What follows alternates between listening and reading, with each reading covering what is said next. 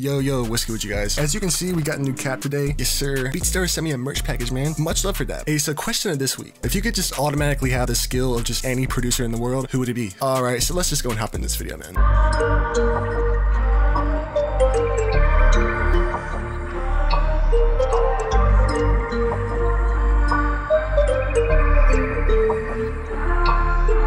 Alright, so the very first thing we had in here was just this bell melody.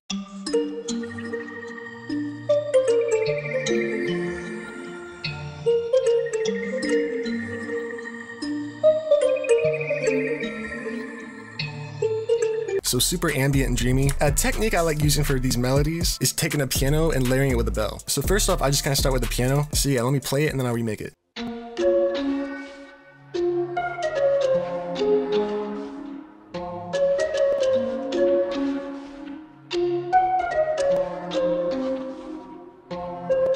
Alright, so just dry, it sounds like this.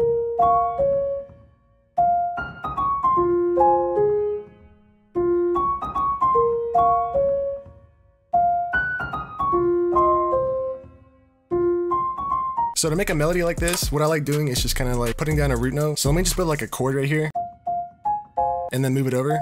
And then we're just gonna invert this one right here. Move this one just a little bit off time. And then let's just add like a note on the clap. Extend that out.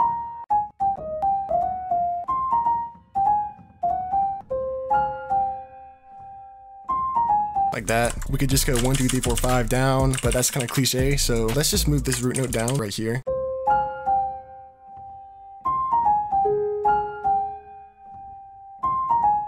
And then this one right here, like that.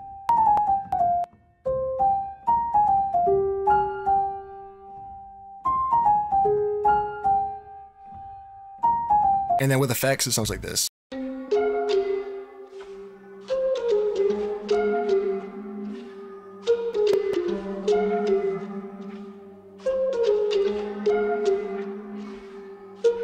So uh, yeah, alright, so let me just put my original pattern back. Alright, first effect was just an EQ.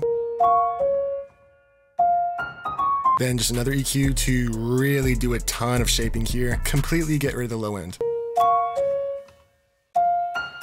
And then I added this Murder Melodies plugin and I actually pitch it down like 13 semitones. And then this plugin right here, honestly, I've been using this a lot. It's a Juno 6 chorus. It's a chorus plugin. It's a really unique one. It's not like the cheap chorus plugins that you see. It's like, it sounds really, really good.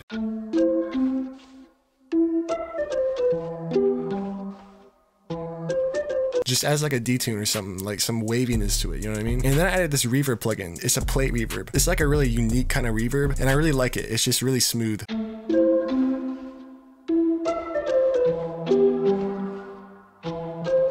And then I just added a portal. So the portal preset was a dark secret and grain synthesis. It's still the absolute king of portal banks. So I just kind of turned the mix level down a little bit.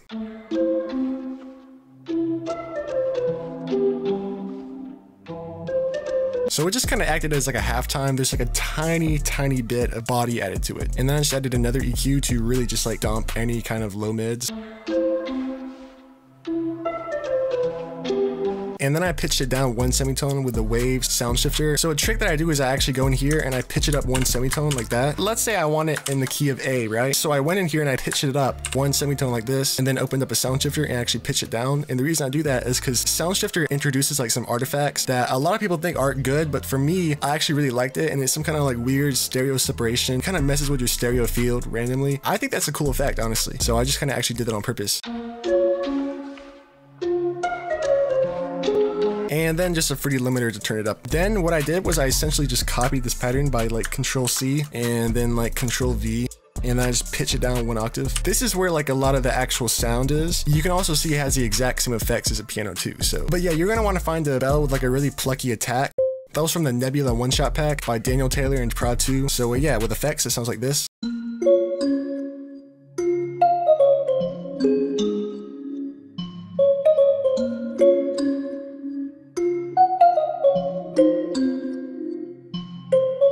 So when you combine it with a piano now, it sounds really, really good.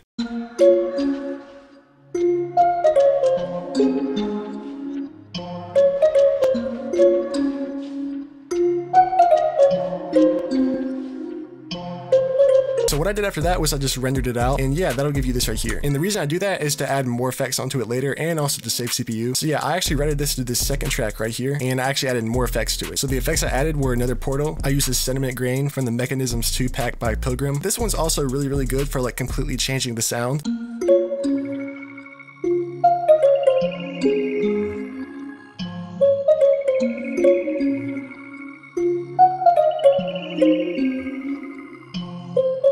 It's like some crazy alien effect type thing. And then I just added an effect rack. First thing I had in here was a crystallizer and it just kind of makes it reverse and stuff. So if I turn it up all the way, so let me just turn this down to about like, I don't know, maybe 5%. And then I added a pan man just to kind of make it pan left and right in my headset. And then an echo boy just to add like a delay.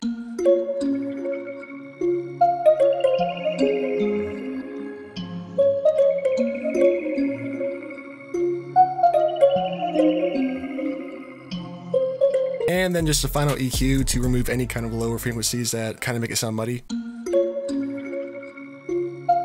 And uh, yeah, that's it for the bell. So really at this point, what I do is I go find accents and stuff. Normally what I do is I find them in a one-shot kit. But yeah, I got mine from Splice.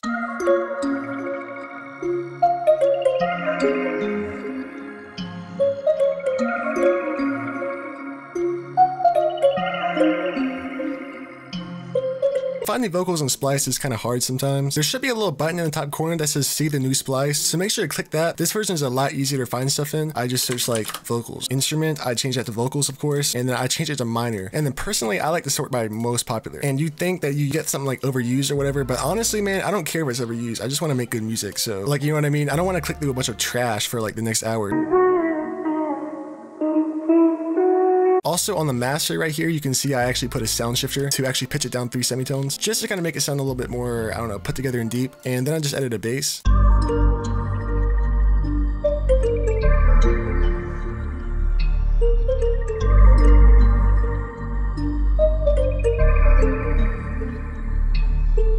And the sub is the Abyss sub from my drum kit, ATL Culture Volume 2. It's got all my favorite basses, all the ones I use. So after that, I kind of went hunting and splice more, and I found some other vocals, two different vocal samples I just kind of put together. First one was this one.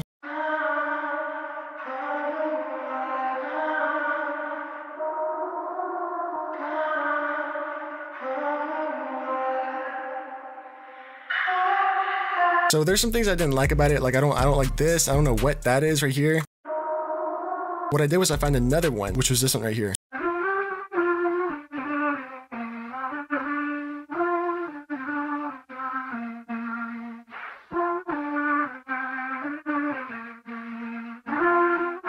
So what I did was I just combined them into this right here.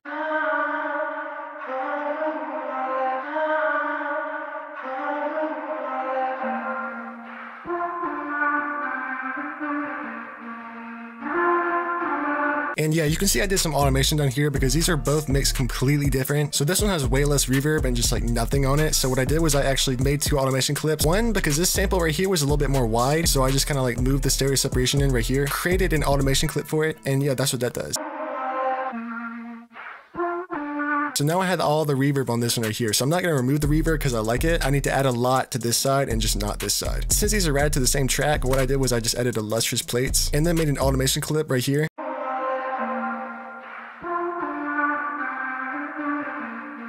And then after that, it sounds like this.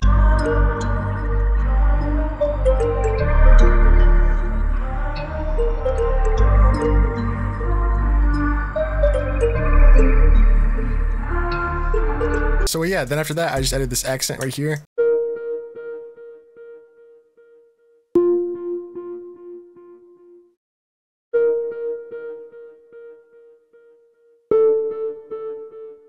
And then with effects, it blends in really well. So just, of course, an EQ, that Juno chorus again. And that was basically just to kind of accommodate the bell.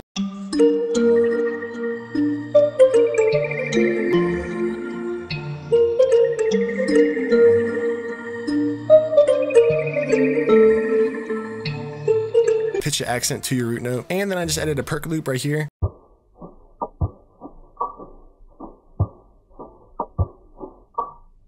and that just loops. And then I just added an EQ on.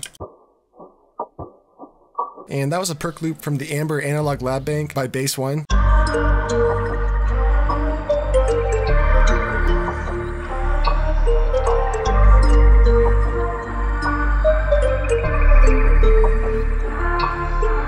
So yeah, man, if you got something from this video, please let me know in the comments. And uh, yeah, till next time.